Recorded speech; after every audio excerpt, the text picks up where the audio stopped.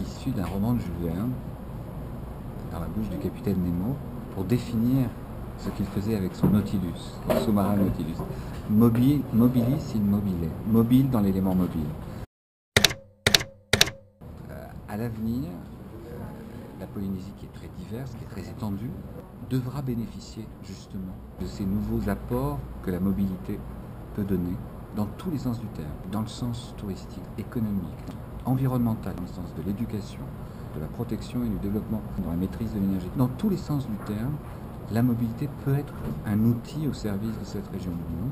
ce qu'on essaye, et ce qu'on essaiera pour les temps qui viennent, c'est d'accompagner ce mouvement pour qu'il arrive le plus rapidement possible auprès de l'ensemble des, des personnes ici, aussi bien effectivement visiteurs que résidents.